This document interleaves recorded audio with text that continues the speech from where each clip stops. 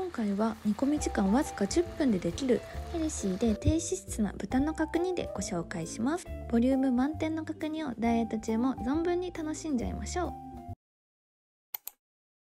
こんにちは。ダイエット料理研究家のりさです。今日のランチは豚の角煮をいただきます。ただ今回はヘルシーでお安い豚の薄切り肉を使ってカロリーと手間暇をぐっと削減したレシピでご紹介します。一皿で栄養もボリュームも満点の角煮に仕上げていくので是非ダイエット中も味しみしみな角煮をお腹いっぱい満喫していきましょう。それではレッツクッキング今回は栄養満点の角煮ということできのこも一緒に入れていきたいと思います。本来はお肉と卵だけだと思うんですけどお野菜たちを入れてボリュームをアップさせていきたいと思います。あときのこからはいい出汁が出るので是非入れてみてください。軸の部分は半分に切っておきます。でここの部分は十字型で切り込みを入れます。そうすることで味もよく染みて見た目も綺麗に仕上がります。たっぷりきのこで食べ応えをアップさせていくとともにダイエット中には欠かせない食物繊維もきのこでしっかりとっていきます。ネギは青い部分を1本分ほど入れていきます。このネギはお肉の臭み消しの効果として使っていきますもちろん柔らかく煮込まれたネギはとっても美味しいので一緒にいただいていきます。生姜の薄切り1枚は千切りしておきます。生姜の薄切り1枚はそのまま入れてしまうよりも千切りをした方が生姜の香りがしっかり引き立ちます。ほうれん草も一緒に入れます。緑黄色野菜もバッチリ取れます。ほうれん草はさっと塩茹でしたものを用意していますから10分ほど煮込んでいくので5分ほどのさっと湯がいたゆで卵を用意しています。こちらの茹で時間はお好みで大丈夫です。今日の角煮はヘルシーでお安い豚の薄切り肉をミルフィーユ状にして作っていきます。お塩を1つまみほどパラパラします。黒胡椒をちょっとしっかりめに効かせます。甘めの角煮の味のアクセントとして黒胡椒は少し多いかなくらいしっかり効かせていきます。ミルフィーユ状のつなぎとして本来は片栗粉を使うところおからパウダーを使って代用していきます。小さじ2ほどまぶします。ほとんど糖質を含まないおからパウダーはこんな感じで高糖質な小麦粉や片栗粉の代用品としてとても使えますなので糖質オフにお料理をしたい方はとってもおすすめです。あとおからパウダーをこうしてまぶすことでお肉がしっとり仕上がります。なじませます。ミルフィーユ状に重ねていきます。でまだこれだけだったらちょっと角煮っぽくないのでこれを半分に切ってさらに合わせちゃいます。でキュッキュッとすることでお肉がつながるのでここは結構しっかりキュッキュッとしていきましょう。でちょっと角煮っぽく整えていきます。高さを出したりして。仕上げに片栗粉をまぶしてもいいんですけど私は今回大箱を片栗粉の代わりとして使用しました。糖質オフに仕上げるために大箱は片栗粉の代わりとして使用することができます。こちらをうっすら表面にまぶしていきます。大箱にもしっかり片栗粉と同じで保水効果があるのでお肉をしっとり柔らかく仕上げてくれます。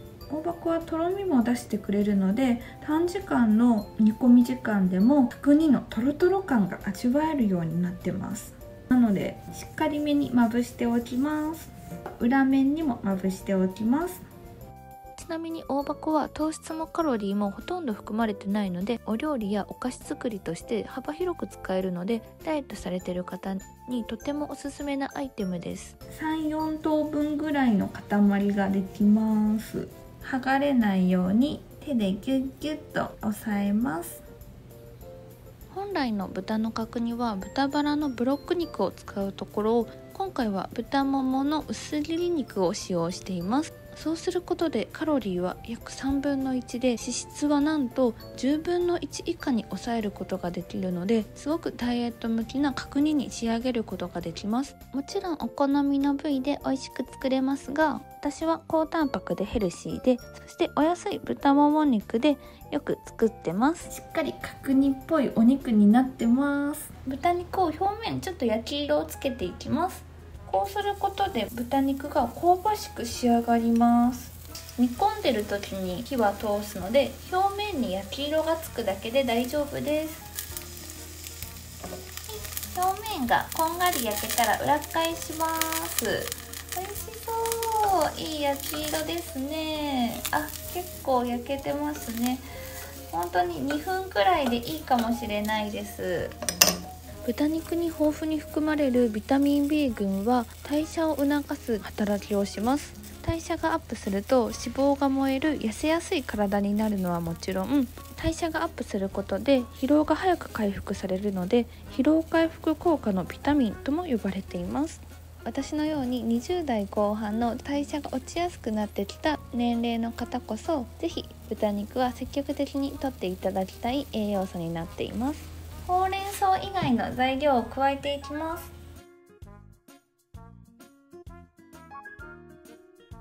卵もどんと入れちゃいます。煮汁の材料も一緒に入れていきます。まず水は 100ml ラッカントは大さじ1杯入れます。こちらはお砂糖に変えてもらっても大丈夫です。ラカントはお砂糖と同じ甘さを持っている天然由来の甘味料です。血糖値にほとんど影響を与えないので脂肪になりにくい甘味料になっています。なのでダイエット中お砂糖の代わりとしてとってもおすすめです。醤油は小さじ2お酒は小さじ2みりんは小さじ1ちょっと煮立ったところで蓋をして弱火で4分ほど煮込みますでは煮込んでいる間に今日の副菜のひじきのサラダをちゃちゃっとご紹介しちゃいます。和えるだけなのでとっても簡単です。まず保存できる容器にカレー粉を小さじ3分の1みりんを大さじ2分の1お酢は大さじ1杯醤油は大さじ1.5杯入れてこちらを一旦混ぜ合わせます。でそこに水で戻して熱湯で3分ほど湯がいたひじきを入れてあとはお好みの野菜を適当に加えていけばいいんですけど今回は特にに使うほうれん草を少しもらってレンジで加熱したしいたけの薄切りを加えました。彩りで人参とか加えても綺麗かなと思います。でこちらを混ぜ合わせたらひじきを使ったカレー風味のマリネサラダの完成になります。ひじきは食物繊維がたっぷり含まれているので腸内環境が整って便秘改善効果にかなり期待できるのとあとはカリウムも含まれているのでむくみ予防にも効果的になっています。このサラダは冷蔵庫で7日間ほど日持ちします。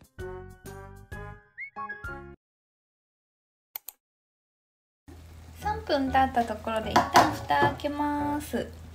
で味が染み渡るように食材にお汁をかけてあげます。でちょっと裏返して短時間でもしっかり味を染み込ませていきます。この卵がちょっと割れてるんですけどうわ ではまた再び4分ほど蓋をして煮込んでいきます。こんな感じです。美味しそう。いい香りがしますほうれん草も加えます。仕上げに中火に変えてグツグツ煮込みます。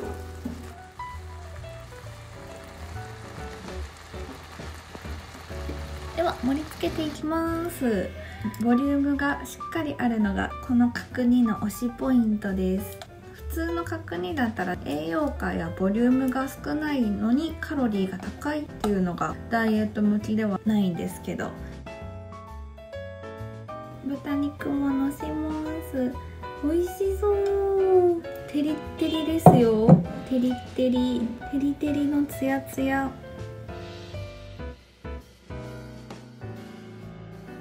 今日のおうちランチはこんな感じで完成です。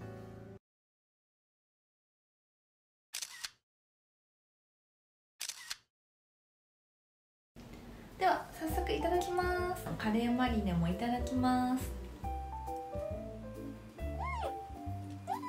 少し入れたカレーのアクセントがとってもいい味出してます。美味しいです。メインの豚の角煮もいただきます。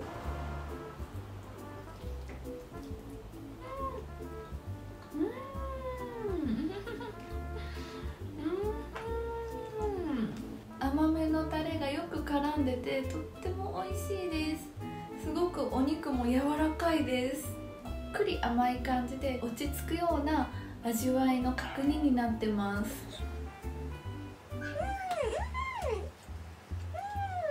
お肉がとっても分厚いのでまさに本物の角煮を食べているようです。卵もいただきます。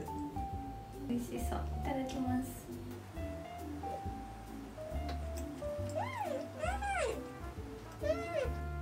卵もちゃんと味が染みてて美味しいです。甘くてほっこりする味なので本当に冬にぴったりですね。是非皆さんも真似して作ってみてください。私のチャンネルでは食事改善のみで1 3キロ痩せた経験をもとに食べて痩せる私のおうちご飯を作ってご紹介しています。食べることがとっても大好きなので食べたいものを糖質オフでヘルシーに作って日々のおうちご飯を楽しみながらダイエットに取り組んでいます。そういったご飯をたくさんご紹介していきたいので是非チャンネル登録とグッドボタンをよろしくお願いします。では今日も最後まで見てくださってありがとうございます。また次の動画で会いましょう。バイバーイ。レシピの詳細は概要欄をご覧ください。インスタグラムのフォローもお待ちしております。